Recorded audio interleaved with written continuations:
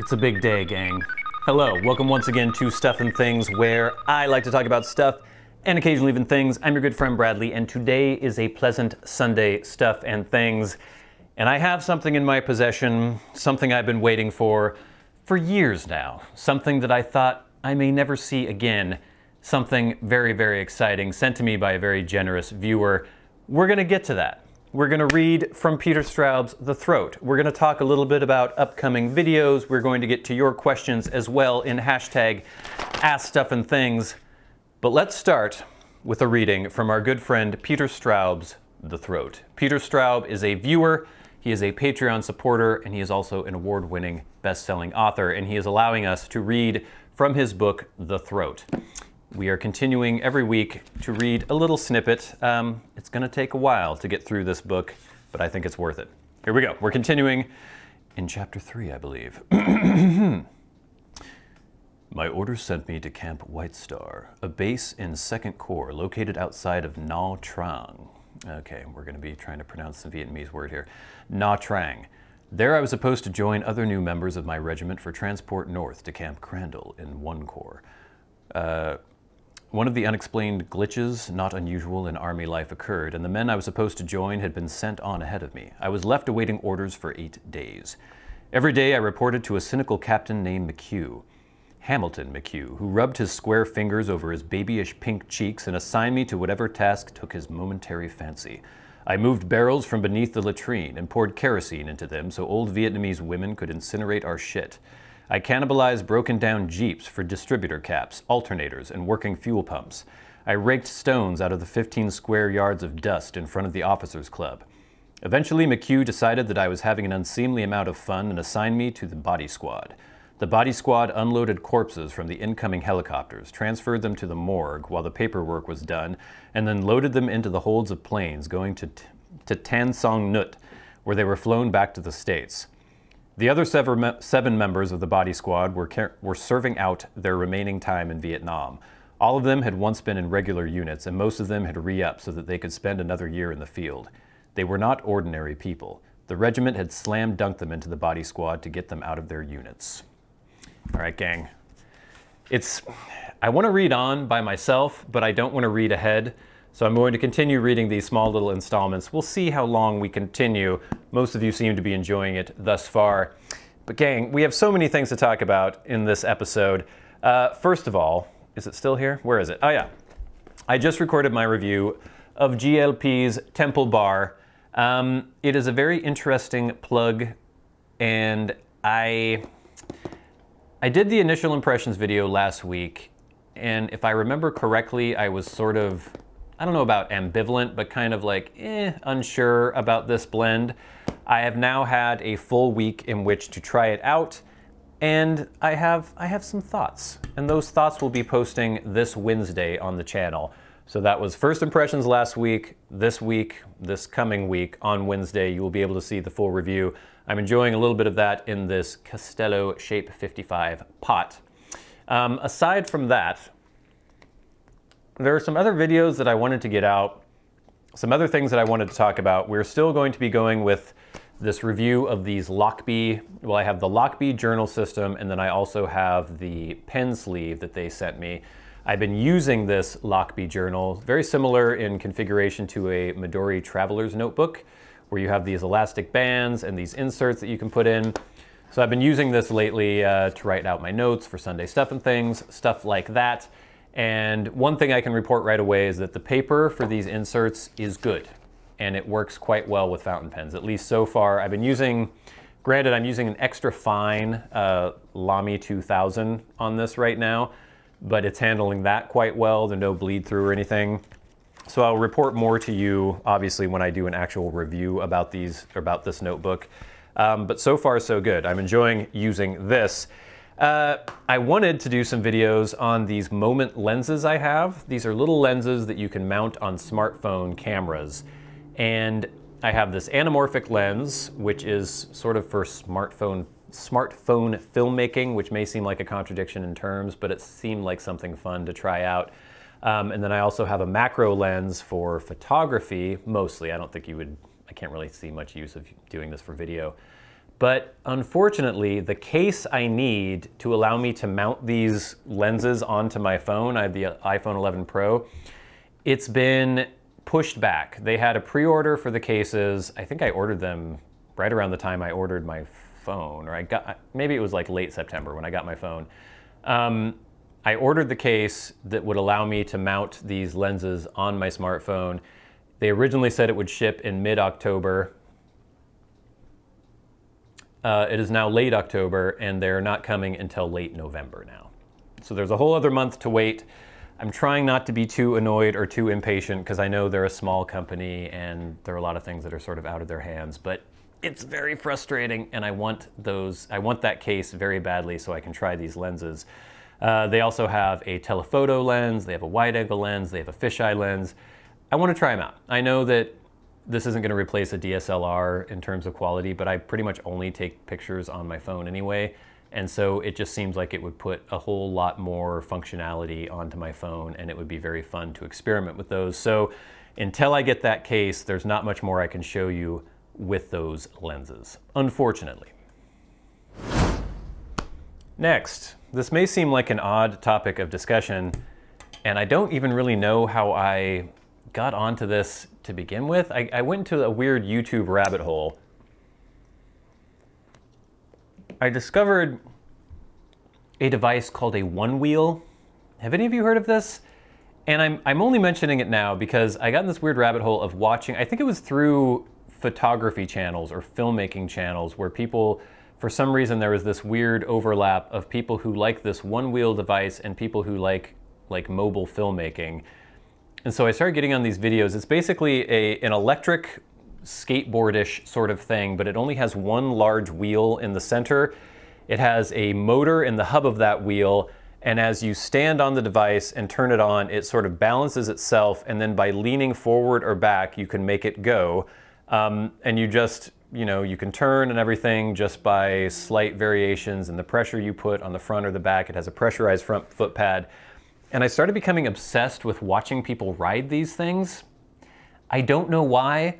Um, I don't know how this became such a crazy thing for me, but I just, I, I, became obsessive about it. I'd be rendering video or something, and in the background, I would have people just riding around in Chicago or New York or places. Um, it seems insanely fun, and I want to try one very, very badly. Have any of you out there ever ridden one of these things? Um, how horribly dangerous are they?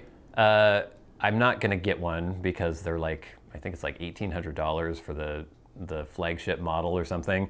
But they just seem really cool and I wanna try one. I wanna see if I can find anyone nearby who has one so I can try it out.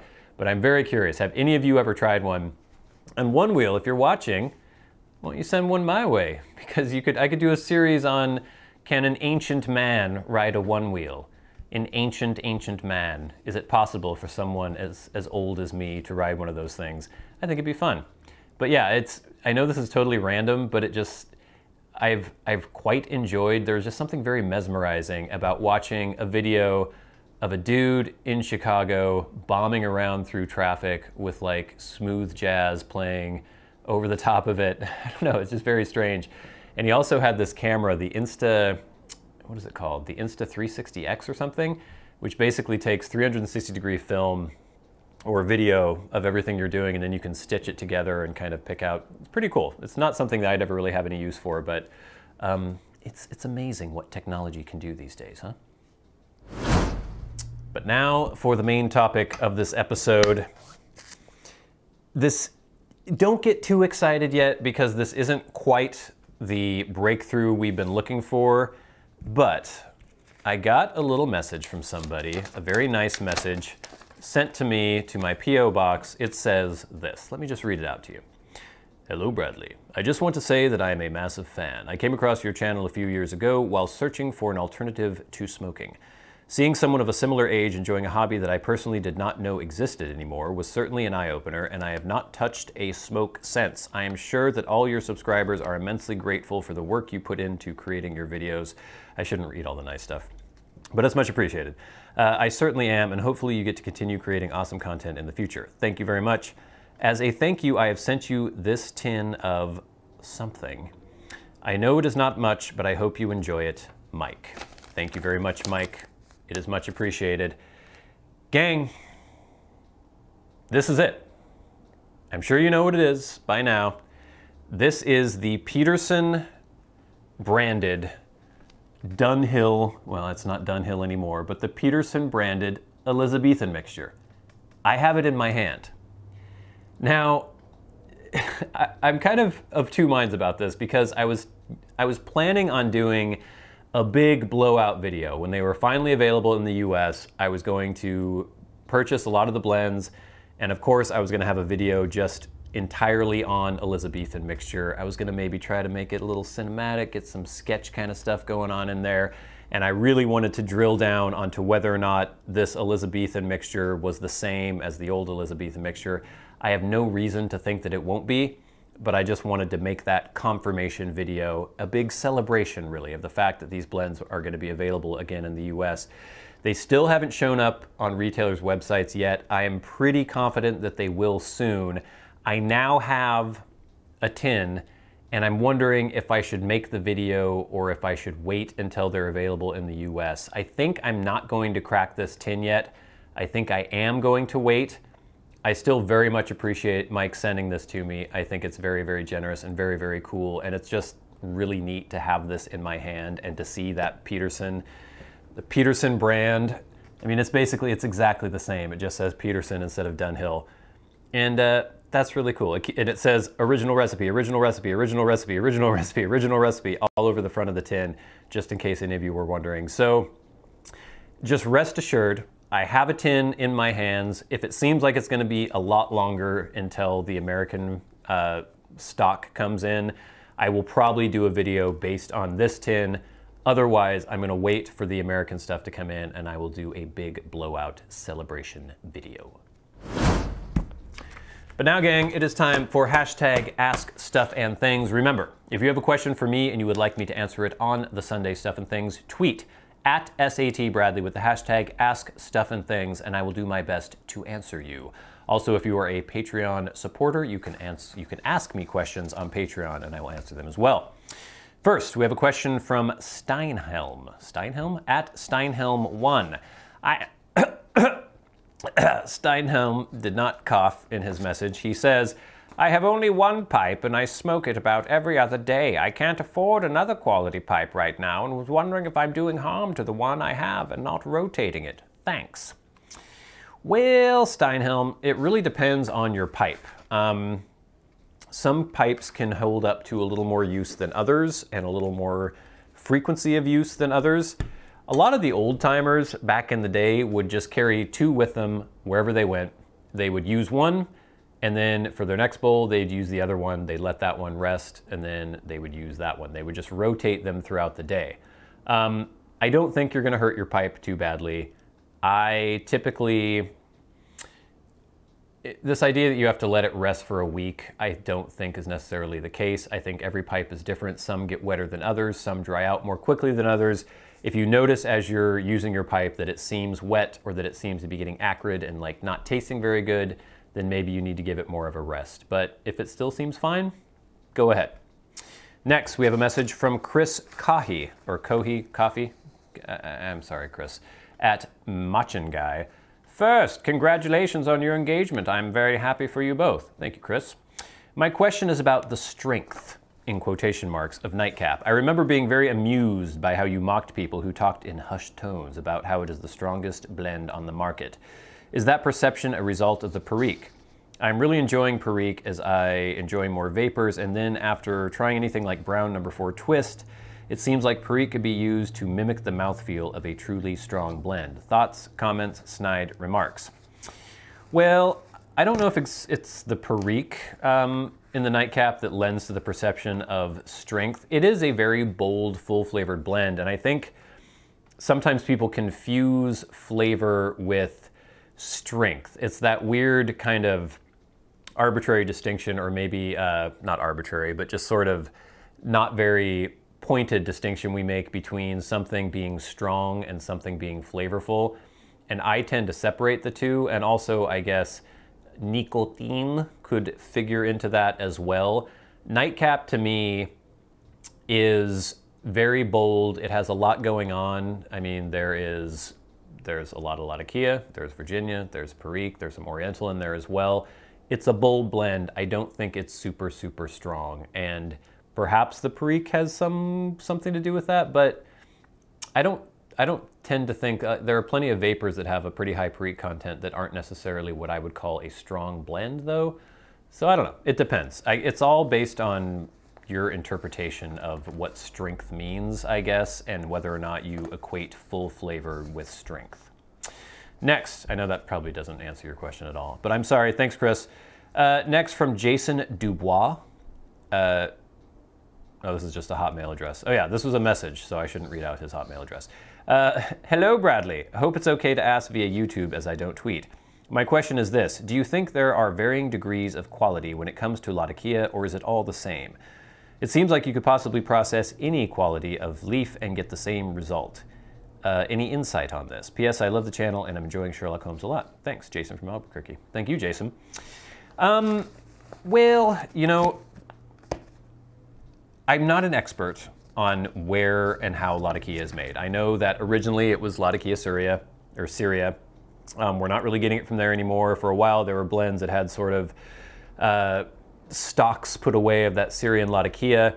Now, most of the Latakia we get is from Cyprus, and it is produced in a specific place in a specific way. And I think that that is sort of the alchemy that makes the Latakia that we have taste like the Latakia we have. It is not only the process used in in processing the leaf, it is also where it is grown. And there's just a particular soil uh, chemistry, weather, climate, everything goes into making a particular varietal, and then how that is processed is probably 50% of it as well. So I don't think you could just take anything and use a similar process and have it taste like the Latakia that we mostly get from Cyprus. That's my opinion. Next, from Sergio at Sergio BTA Colonel or COL. I'm not sure what he intends there. Uh, three questions. Accent Englishman. All right. Let's use my highly accurate English accent here. Would you? okay, I won't do that one. Um, would you create a closed group? I can't do it now. Would you create a closed group on Facebook to share stuff and things? Uh, I hate Facebook, and I never want to use Facebook ever again for anything. Uh, it's been it's been pulling teeth to get me to have like an Instagram and a Twitter, and that's probably as far as I'm going to go. Um, are you planning to review Cabbie's mixture? Uh, I have reviewed Cabbie's mixture. I reviewed it right around when it came out. So if you search my reviews playlist on the channel, you should find that review. And three, are you going to try C&D Carolina Red Flake? Uh, maybe. I might. We'll see about that. And last, we have a question about Minecraft from Jason Hunt at Hexeter. He says, how long in real time did the bitter, uh, bigger, better dig take you? Uh, it's actually called Bradley's Big Dig Mark II. Thank you very much, Jason. Also, did you get all those diamonds from the dig itself? My spawn is being chintzy. Hashtag ask stuff and things. Um, man, in actual real time, I don't know like like if I put a stopwatch on it, how many actual in-game hours it took, but it was weeks. Um, weeks and weeks and weeks. A long time. A very long time. A depressingly, kind of sadly, pathetically long time. Don't ever do anything like I've done. Learn from my mistakes. Um, and pretty much all those diamonds were from the Big Dig, yes. Uh, I had some from a, a, mine initially, but I'd used most of those up making armors and weapons and things like that anyway. So yes, I think pretty much every diamond. But I also, I wouldn't harvest any diamond unless I had a looting three pickaxe. So that makes a big difference. For those of you who don't know anything about Minecraft, this probably sounds like the most insane conversation in the world, but you should watch the series on Stuff and Things Plays. It's fantastic. But now, gang, thank you all for your questions. They're much appreciated. Please send more in. Tweet at SAT Bradley with the hashtag Ask Stuff and Things. But now it's time for the very best part of the show, and that is when we thank our sponsors on Patreon. The people who support the channel at $25 or more a month get a special shout out every week on the Sunday Stuff and Things. if you would like to support the channel. There is a link in the description box below. There might also be a card at the end of the video if that's actually working. It is patreon.com slash stuff and things, but don't feel obligated. This, these people did go ahead and support the channel, and now I would like to give them a special thank you. People like Glenn, Derek, Cody Striegler, Nathaniel Hills, Kirk Crompton, Private Eye, C.W. Piperman, Garret, Ryan McFadin, Corbyn Borbyn, Adam Loveless, MD of the North, Robert Venerus, Ryan Stauffer, John M. Parrish, and Gus, aka I Love Gongs. Those are the $25 supporters. Thank you all so much. But now I would like to thank the maniacs, the crazy people, the ones who have absolutely no conception of the value of money, people like Peter Straub. Thank you so much, Peter, for being a maniac tier supporter. Also, Bob Magee. Thank you so much, Bob. Gang, that is this week's Sunday Stuff and Things. Like I said, Lochby Journal review coming soon. Hopefully, Moment Lens stuff coming soon as soon as I get the case. I still want to get out and do some vloggy stuff with my gimbal and everything, but the weather has been awful lately. Um, maybe a video on the new Peterson Elizabethan coming up soon. We're going to see how long it takes for the US versions to come out. Uh, I just recorded some more Red-Headed League, uh, Sherlock Holmes stories for Arthur Conan Doyle, Stuff and Things Reads. That's coming up on Friday. Lots of videos, lots of stuff going on. I can hardly keep track, but thank you so much for continuing to watch, for supporting the channel, for subscribing, for sharing, for supporting on Patreon. It all means a lot to me. Thank you all very, very much. And until next time, until we meet again, I've been a good friend Bradley, you've been the audience. This has been Stuff and Things on a pleasant Sunday, Stuff and Things. I'll see you later.